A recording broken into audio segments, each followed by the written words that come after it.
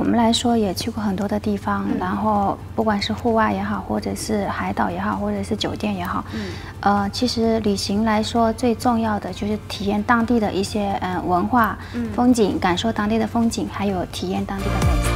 周边也有一些好的景点，或者也有一些比较有特色的，像那个金汤省的那个啊别墅，它里面呢是已经有一些呃保留的一些建筑。今天今天因为是万丽酒店的导航员带我们出去玩，所以就感受到了啊真正的比较有特色的泰国风情的东西。